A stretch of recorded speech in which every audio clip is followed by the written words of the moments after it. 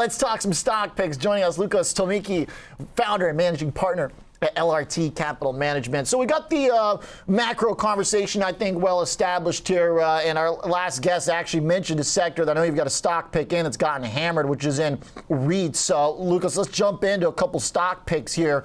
When you look at the beaten up stuff in the real estate world, where do you find gems? Hi, Oliver, and thanks for having me. Um, you know, one name that we really like in the REIT space uh, is Crown uh, Castle Communications. Uh, it's a provider of wireless technology, cell phone towers, and yeah, towers, right? Um, yeah, towers and a lot of fiber optics. So that's a name that's been really beaten down quite substantially, as your former guest mentioned, primarily because interest rates have risen and the stock was quite overvalued probably a year ago. Today, the valuation has reset a lot. And if you imagine what the environment could look like 12 months from now, where we probably get a slowing economy and a Fed that is at least talking about cutting rates and long term rates, perhaps easing back a little bit, um, that's one of the names that uh, could do really well. So is rate sensitivity a big part of the downside that's happened here? I mean, just obliterated. And I know this was a favorite pick of some of my guests a couple of years back. Uh, it was pre-COVID, really, but the idea of all the 5G build out and stuff, and that uh, there had been some, if I recall correctly, a little bit of consolidation in the industry. So it seemed like the ones that were building the towers could kind of command the pricing. What went wrong with that thesis?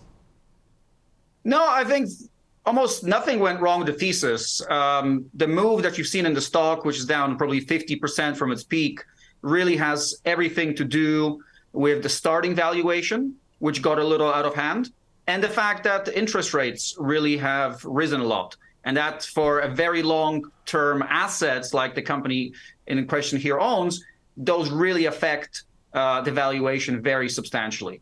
But on the flip side, if you believe that interest rates could go down or maybe at least stop going up, you are looking at uh, potentially explosive upside uh, in, in the other direction. Got it. Well, it's done a full uh, round trip basically down to those levels when I first uh, started people uh, hearing people get real excited about like 2017 pre-COVID stuff. So just an, uh, an epic reversal. Uh, so point taken on the valuation ups and downs here that have been pretty extreme.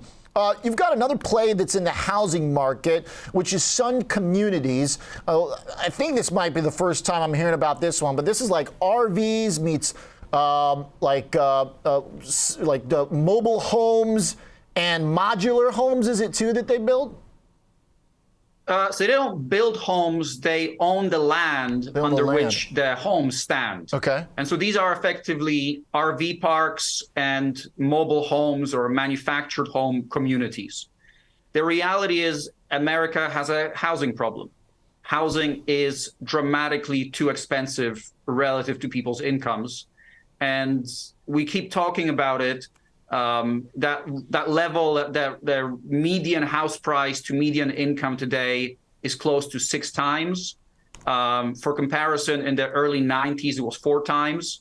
So it's harder than ever for first-time homebuyers to buy a house. And while we keep talking about different things that could happen, um, different policies and government interventions and mortgage rates, that ratio of home prices to income keeps rising. And so regrettably or not, for a lot of Americans, the solution is is manufactured housing and mobile parks uh, and marinas uh, where people effectively live on boats. Hmm. Um, Sun cool. Communities is one of two companies in the space.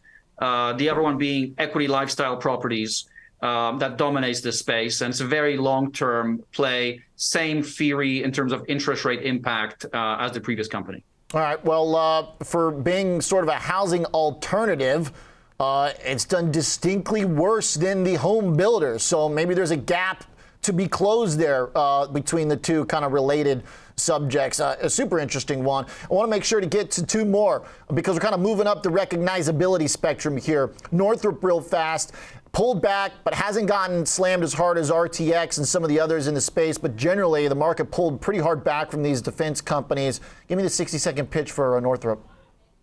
Sure. Northrop did really well last year, kind of on the backs of the unexpected spending in the military for the Ukraine war. It was up over 40% last year, and this year is a little bit out of style, out of fashion. It's down over 20%. But it's a great business. It's highly consolidated. There's really just five prime defense contractors. And even that doesn't speak to how consolidated the industry is.